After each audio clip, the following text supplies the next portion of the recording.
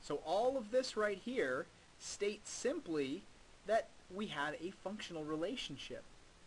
Um, we don't need to use the letter F to represent function. This is sort of the name of the function. So um, basically, we would say that the function name can be anything you want. So you can use the letter A to represent is a function of. You can use the letter G to represent is a function of. This F is sort of arbitrary because it probably is something that you primarily associate with function. But in some cases that may not be totally um, relevant. So let's let's look at an example of how this helps us. So let's call this, we, we see that the output is called y in symbols and the input is called x. Now, now we just, when we talk about variables, all, all we're saying is that a variable is something whose value changes from person to person or from moment to moment. So each x is associated with potentially a different y. So each person has a different um, arm length, and therefore we call them variables because they vary. They change from one person to the next. So I'm going to write it this way. I'm going to say y is a function of x, and this allows me to basically compact that notation and not even have to use words anymore. It's entirely in symbolic form. So what if I asked you to evaluate y equals f of 5? Okay, well what do you think that's asking? If you look back at the notation and kind of uh, study what has happened here, what I've changed, all I've done is I've replaced x with 5 and I've left y alone. Well, this probably is trying to establish a relationship between x and y. So I know that if x is 5, I probably want to figure out, well, what is y in that case? So I go over to my table and I say, all right, well, if the input, if the x is 5, then let me go ahead and find or identify what the corresponding output value would be. So there's 5, and I see that that links over to the 7, and I would answer this question by saying, ah, okay, 7 is a function of an input of 5. Simple as that. Let's look at it in a better context. So in context, let's suppose that you're comparing four people and you're looking at, you measure their height and you measure their arm length. And the question is, is this a function?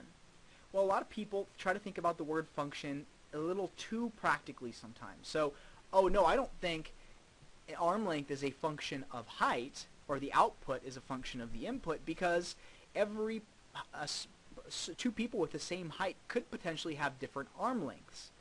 But this example is based on data that we actually have. And if you actually have data, then you're identifying whether or not it's a function based on that data alone. So if you only consider these four individuals, do you have a function? And the answer is, well, does every input, does every height, every unique height have just one arm length? Well, I don't see any height that's in here more than once. I see 55, 60, 68, 62. So there's not even a possibility that one input value can possibly have two output values. So I would say that yes, output is a function of input.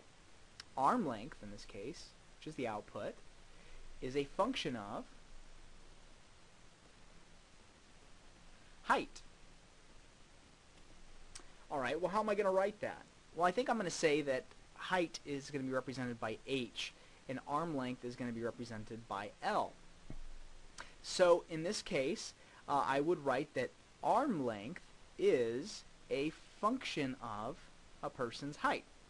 So what then do you think would we would be looking for if we ask the question evaluate f of 2?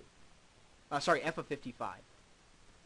Well, you're probably thinking, okay, well, wait a minute. Let me look stare back at this notation. I don't see the L equals part in here, but I know that L is length is a function of height, so he must be asking me what is the length since he's giving me a height of 55, and you'd be absolutely correct. I'd come over here, look at the height of 55 in the inputs, and see what the output is that corresponds to it. So this would be an arm length of 22 inches would be a function of a person having a height of 55. Similarly, usually we write solve if you're given the output and not the input. So solve, uh, not 22, I don't want to repeat that. Let's say solve 26 is a function of h. So what do you think we're asking here? Well, I've replaced the length with 26, and I'm looking for the height. If I look over here, I see that that's 68.